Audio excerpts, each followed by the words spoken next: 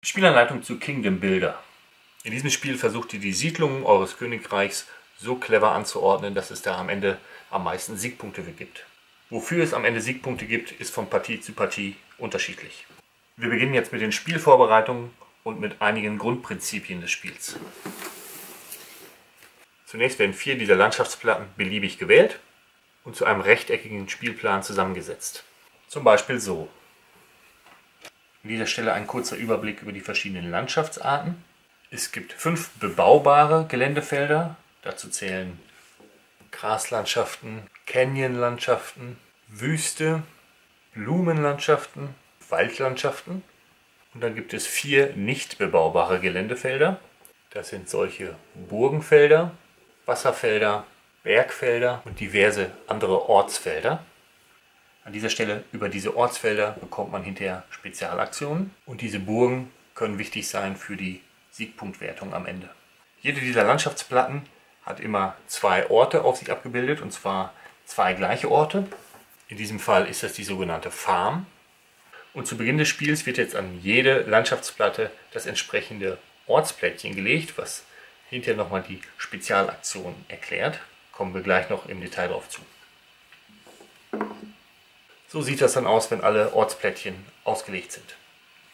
Auf jedes dieser Ortsfelder kommen jetzt jeweils zwei dieser kleinen Ortsplättchen, also zwei Farmen hier und zwei Farmen da und bei den anderen Ortsfeldern entsprechend. Die sogenannten Orakel-Ortsfelder sind was Besonderes. Die gibt es nur jeweils einmal auf dem entsprechenden Landschaftsfeld. Da kommen aber dann auch zwei Ortsplättchen drauf. Und zum Ausgleich gibt es dann hier auch eine zweite Burg. Ähnlich wäre das auch bei dem Hafen. Das gibt es auch nur einmal auf dem entsprechenden Landschaftsfeld, aber in unserem Beispiel spielen wir ohne dieses Feld. So, am Ende der Verteilung der Ortsplättchen sähe das dann so aus. Zur Info, es gibt insgesamt acht unterschiedliche Orte, aber die spielen natürlich nicht in jeder Partie alle mit. Als nächstes werden diese grünen Geländekarten gemischt und als verdeckter Stapel bereitgelegt. Die Karten zeigen die unterschiedlichen Landschaftstypen und mit diesen Karten kann man hinter seine Siedlung bauen. Dann gibt es noch diese roten Kingdom Builder Karten, diese werden auch gemischt Drei Karten werden gezogen und diese werden offen neben das Spielfeld gelegt. Diese zeigen, wofür es am Ende Siegpunkte gibt. Da gehen wir natürlich später auch nochmal im Detail drauf ein.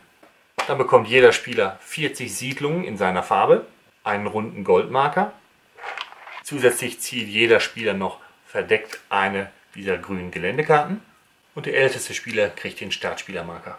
Eine nicht genutzte Landschaftsplatte wird umgedreht und dient dann als Siegpunktleiste. Dort werden die Goldmarker hingelegt und am Ende des Spiels werden dort die Siegpunkte abgetragen. Der Grundablauf einer Spielrunde ist jetzt ganz simpel. Der Spieler, der an der Reihe ist, kann jetzt seine Geländekarte aufdecken und muss auf die entsprechende Geländeart drei seiner Siedlungen bauen. Dabei muss er drei Regeln beachten. Auf einem Feld darf immer nur eine Siedlung stehen. Wie schon gesagt, dürfen Siedlungen nur auf Gras, Wald, Blumen Wüste oder Canyon gebaut werden. Und jede neue Siedlung muss, wenn möglich, immer angrenzend an eine bereits bestehende eigene Siedlung gebaut werden. In diesem Fall haben wir das gemacht. Diese Regeln gelten immer für jede der zu setzenden Siedlungen. Jetzt noch ein wichtiger Sonderfall. Wenn ich einmal nicht angrenzend bauen kann, so wie in diesem Fall, kann ich meine Siedlung auf beliebige Landschaftsfelder dieses Typs setzen. Das kann Sinn machen, wenn man sich je nach Ziel irgendwie ganz schnell ganz weit ausbreiten muss. Sollte der seltene Fall eintreten, dass zu Beginn oder während eines Zuges eines Spielers kein bebaubares Feld vorhanden ist, das seiner ausgespielten Karte entspricht, dann erhält der Spieler sofort eine neue Karte. Die andere Karte kommt dann ganz aus dem Spiel. Wird so lange gezogen, bis dann eine Karte funktioniert. Wenn ich im Laufe des Spiels eine Siedlung an ein Ortsfeld baue, darf ich dort, falls noch vorhanden, ein Plättchen nehmen und vor mich legen. Sollte ich von diesem Ortsfeld schon ein Ortsplättchen besitzen, durch eine alte Bauaktion, dürfte ich kein zusätzliches nehmen. Ich könnte aber hinterher durch das Bauen an dem zweiten Ortsfeld auch ein zweites Ortsplättchen der gleichen Art bekommen. Diese Ortsplättchen erlauben verschiedene Sonderaktionen, die in jeder Runde einmal genutzt werden dürfen. Diese Sonderaktion kann entweder vor oder nach der Pflichtaktion verwendet werden. Wenn ich das Ortsplättchen in dieser Runde erst erhalten habe, kann ich die Sonderaktion erst in der nächsten Runde einsetzen. Grundsätzlich kann ich mit diesen Spezialaktionen bestehende Siedlungen versetzen oder zusätzliche Siedlungen aufs Brett bringen. Ein Ortsplättchen bleibt so lange im Besitz des Spielers, solange mindestens eine seiner Siedlungen an das entsprechende Ortsfeld angrenzt. Wenn es durch eine Sonderaktion irgendwie umgesetzt wird, dann würde das Ortsplättchen nicht zurückkommen hier drauf, sondern es käme aus dem Spiel. An dieser Stelle gehen wir einmal durch die möglichen Sonderaktionen und dabei fangen wir an mit den Aktionen, mit denen ich zusätzliche Siedlungen aufs Brett kriege. Wenn ich die Orakelaktion durchführe, kann ich eine zusätzliche Siedlung auf ein Landschaftsfeld bringen, das meiner Geländekarte dieser Runde entspricht. Natürlich muss ich dabei wieder die Bauregeln beachten. Eine Farm-Sonderaktion erlaubt mir, eine zusätzliche Siedlung auf eine Graslandschaft zu stellen. Es muss, wenn möglich, wieder angrenzend gebaut werden. Wenn es keine verfügbare Graslandschaft mehr gibt, entfällt die Aktion. Mit der Oase das gleiche mit Wüstenfeldern.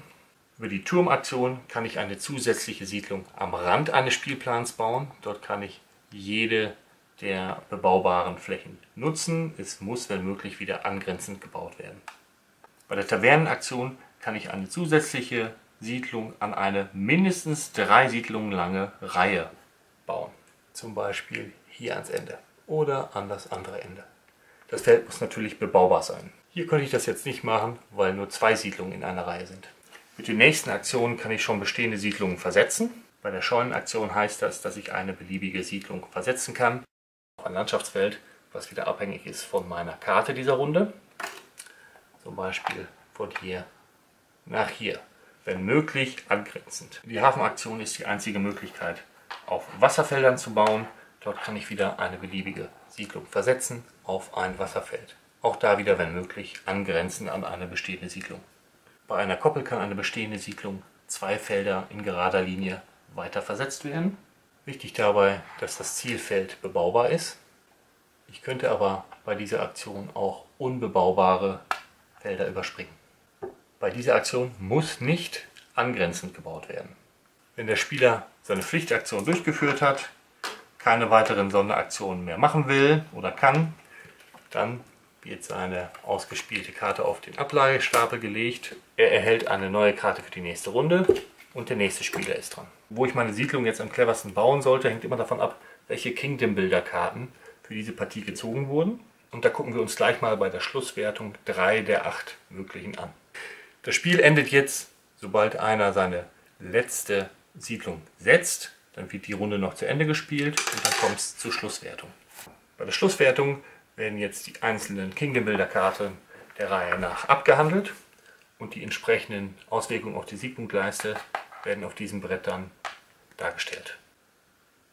Diese Kingdom Builder Karte verlangt zum Beispiel von den Spielern möglichst große Siedlungsgebiete zu bauen.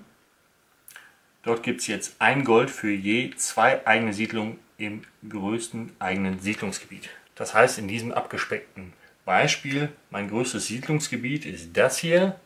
Da sind fünf Siedlungen, die irgendwie zusammenhängen. Hier sind nur drei. Das heißt, hier würde ich für je zwei einen Punkt kriegen. Das heißt insgesamt zwei Punkte. Wenn die Karte Fische ausliegt, ist es sinnvoll, möglichst viele Siedlungen an Wasserfelder angrenzend zu bauen. Denn dort kriege ich ein Gold für jede eigene Siedlung, die angrenzt an ein oder mehrere Wasserfelder. In diesem Fall wären das 1, 2, 3, 4 Punkte. Die Karte Ritter belohnt möglichst große horizontale Ausdehnung. Dort gibt es zwei Gold für jede eigene Siedlung auf der horizontalen Linie mit den meisten eigenen Siedlungen. Auch hier wieder ein abgespecktes Beispiel. Einmal mit dieser horizontalen Linie und einmal mit dieser horizontalen Linie. Hier sind insgesamt vier Siedlungen, hier fünf. Das ist meine längste horizontale Ausdehnung. Also würde ich jeweils zwei Hebe kriegen. 2, 4, 6, 8, 10 Punkte. Ähnliche Anforderungen zeigen dann auch die anderen Kingdom Builder Karten. Nachdem die Kingdom Builder Karten abgerechnet sind, wird noch geschaut, an wie viele unterschiedliche Burgen ich Siedlungen angebaut habe. Denn dafür gibt es auch nochmal jeweils drei Siegpunkte. In diesem Fall habe ich Siedlungen an zwei unterschiedlichen Burgen. Dafür gibt es dann sechs Punkte nochmal oben drauf. Wer dann am Ende am meisten Siegpunkte hat, gewinnt. In diesem Sinne, Game on!